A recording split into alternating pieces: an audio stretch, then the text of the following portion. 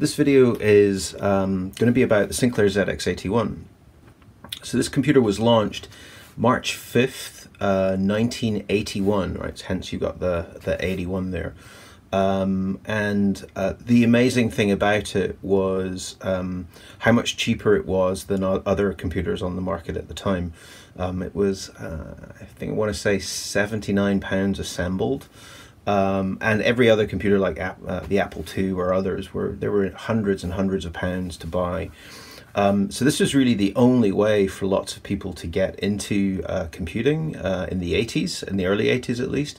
Um, and I had one of these. This was um, this type of machine uh, was was my first computer. This isn't the actual one, but it's it's identical to the one that I got when I was uh, when I was uh, eight years old. Um, and I put my own money towards it as well. I had to I had to take all my savings out of my post office account to buy it. Um, the reason I was excited about it is just learning how to work a computer, learning how to program. Um, and I, I, wanted to buy one of these uh, a few years ago now. I didn't have one anymore, um, so I went on eBay. I found uh, I found one that I really wanted, and I lost out on it um, in the like fat last few seconds of the auction. Somebody bid, you know, uh, a dollar more than me, um, so I lost out. Um, and then I immediately went bid my losing amount on three lots, and then I won them all. So I ended up with actually four um, and I actually sent two of them uh, to Dave Jones of the EEVblog uh, in Australia, and um, he actually covered them on, on what is a link. I'll put a link up, uh, and you can see that. And um, one of the things he said is that this was a rubbish computer, and there were so many better computers around. But it, he kind of, Dave, you missed the point. There were so few ways. I mean, as a as a kid, I was never getting an Apple II, and it was my introduction to to programming.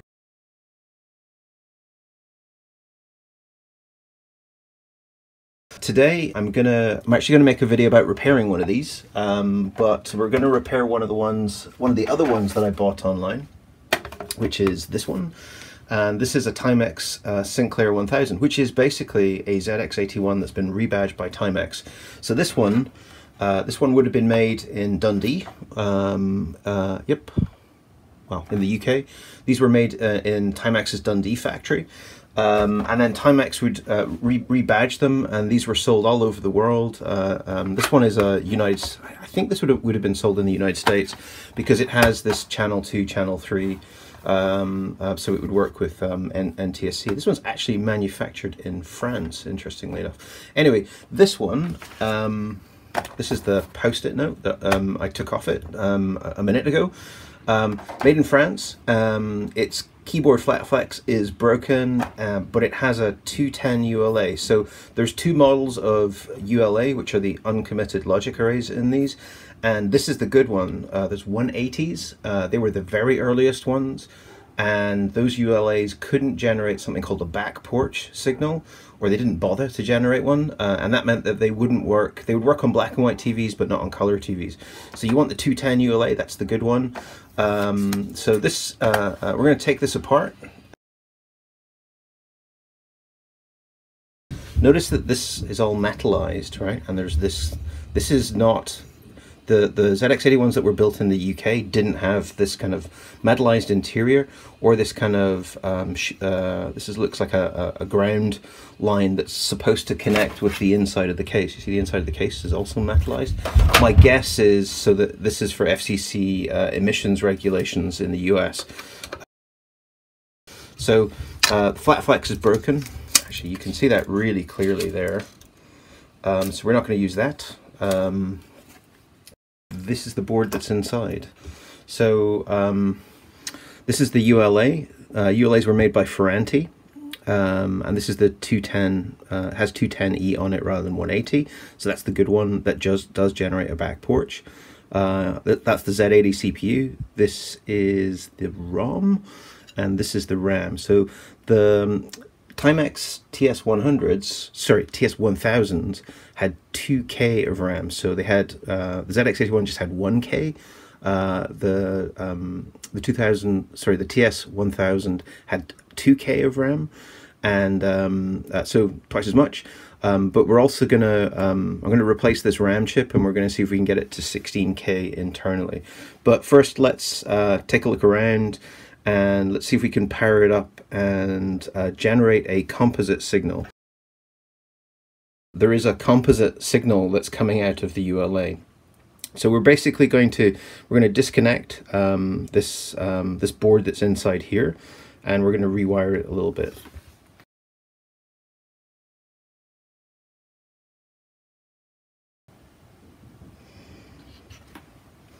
So the first order of business is going to be uh, to uh, we need to power it up and then see if we can get a video signal out of it. And because I don't have a television, uh, we need to make a composite a video signal. So um, the circuit that we're going to create, let me just quickly draw it here.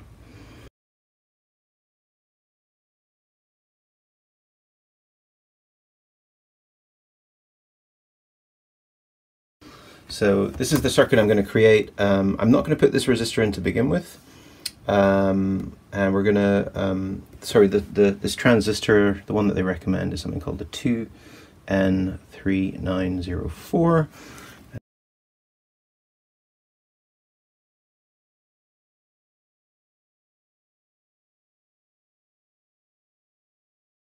Let's see what happens when I turn this screen on. Fingers crossed. Yeah! Oh. So let's see if the keyword works. I think if I short some of these, I should get characters appearing. Yeah! Awesome. So looks like it's actually working. It's booted. That's clear and bright. Okay, so what I've done is I've removed this cable here that went into the there and I've disconnected the UHF out um, so that I can reuse this connector for the, the composite.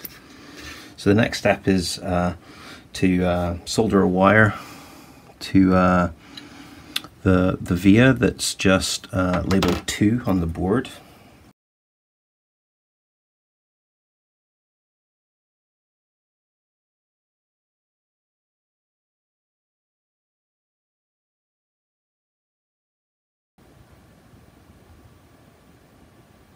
Yeah, look at that. Okay. Okay, that is rock solid as well. Look, there's no lines. Sweet. Composite video out. Okay. Um, I guess I should put this little box back on the top. And then, then we're good to go.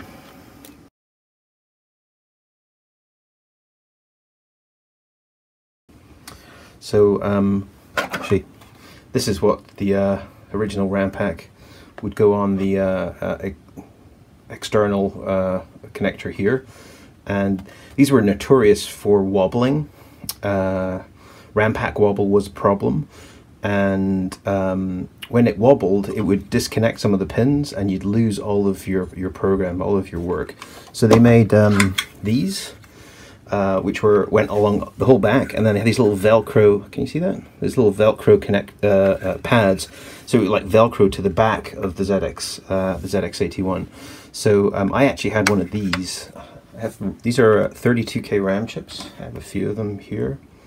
Um, and uh, these are 62256 um, RAM chips, and they're all the same. These are all different manufacturers: Alliance, um, this is Cypress, and this is uh, some other manufacturer. I'm not, I'm not sure who. Um, I don't know if you can see this. This the original Toshiba chip there. Look at the look at the the Toshiba logo. It's kind of it's kind of old old fashioned style. So that's 2K of RAM, and there's already a socket there, which is um, big enough to fit this. But the problem is the pinouts aren't right.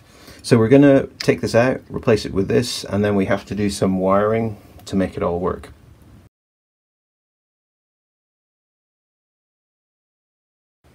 So that's what the chip looks like. Um, now, um, there were three pins that we had to bend up um, and attach, and they were um, pin 1. So I'm only going to talk about the changes you have to make so you can put this chip directly into the socket once you've bent up these pins. Uh, then it's pin uh, 26 need to bend that pin up and pin 23.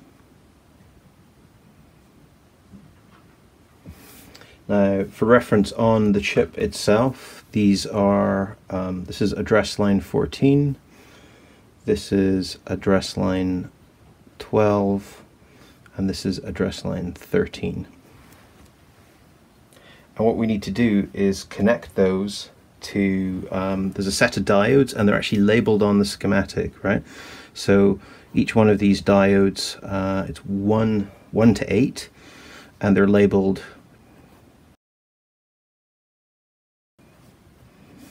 Now, on this side of the pins, that's the keyboard connector. Various address lines go into these diodes, and you want to connect uh, A14. So this one connects down to D1. The next one, which is A13, connects to D3. and then A13 connects to D5 that. So you see that? I've bent three pins up. I'm actually going to put it in the socket now. Um, hopefully. It fit in. Yeah that's a good fit. Alright so I have to find a way of connecting can you see these pins? I have to find a way of connecting these pins into the um, into the address lines. So I have this really fine, uh, this is wire wrap wire. Um, so um, it's really fine wire um, and I'm going to use it to kind of make these jumps but I'm actually going to see if I can wire wrap on these uh, end endpoints wire wrap makes a really good connection. I actually used to use it in uh, mainframes uh, and it can make a better connection than solder at times. So um, and the way that you do wire wrapping, can I figure this one out? Right, is you push the wire in like that. Can you see that? And then you put it around the pin and then you, you spin this guy and what it does is it keeps wrapping the wire around there you go, it's totally wrapped on there. And um, I don't know if you can see that. Can you see that? Yeah. So uh, the reason it makes such a good connection is because the, the edges of these pins are quite are quite sharp, and when each time you wrap the wire around it, it, it kind of beds in a little bit. I'm actually gonna so I'm gonna do this on um, on all of them.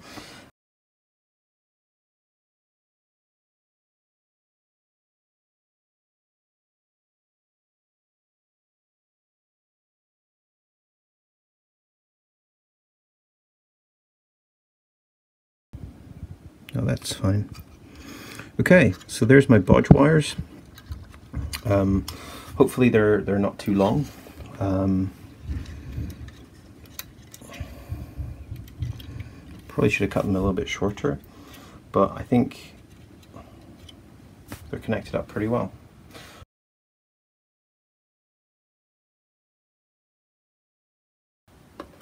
Okay, so I put the keyboard in and it didn't work so I'm going to take these screws out again and see if I can uh, reseat this cable again. So I just want to check to see if there's continuity along this. So there's some sort of break on this line and it's it's actually just it looks like um, the break is somewhere it's actually at the point where it would be folded to go in. What I'm going to do is I'm going to I'm actually going to cut these cables just slightly shorter both of them. And that will um, that should get past the break if I'm lucky. So let's give that a shot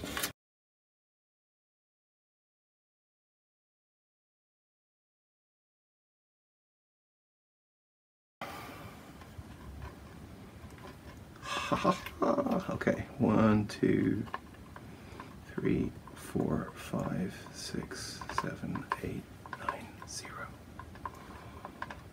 It's so good. P, uh, shift.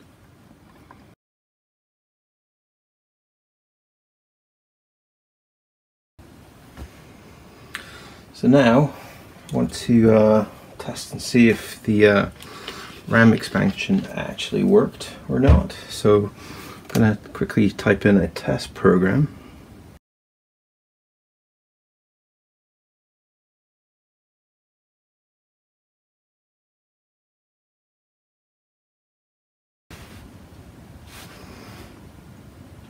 Sixteen K, yeah.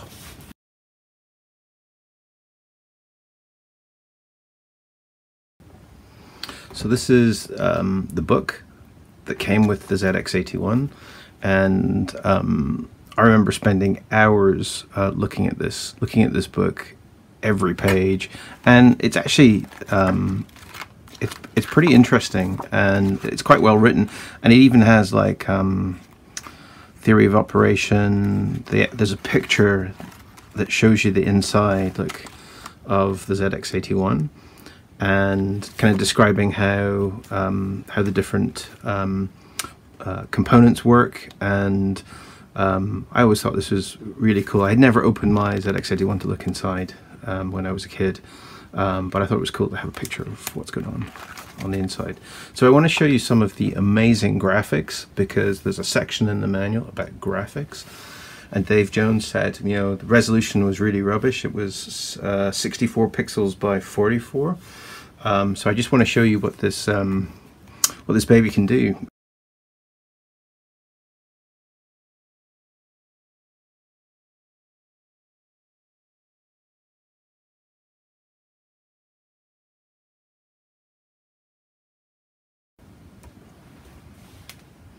Are you ready to be amazed?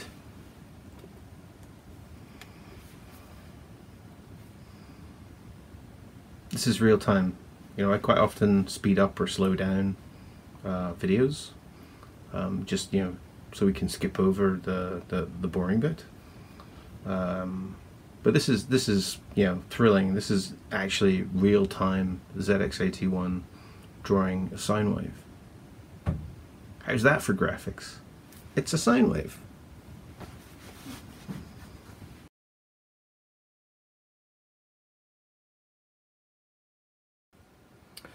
This is Invaders. It's a game for the ZX81 that was written kind of recently.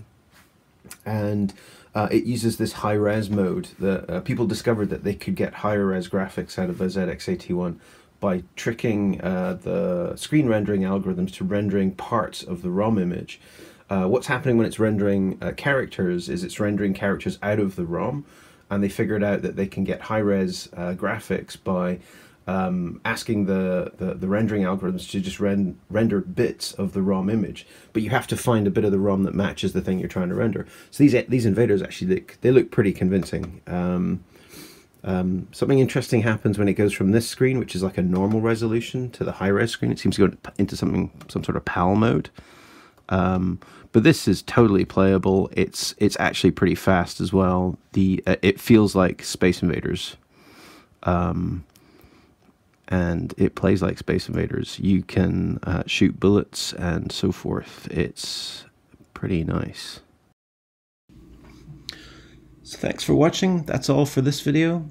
Please leave a, uh, a comment below if you like, um, and I'll see you in the next video.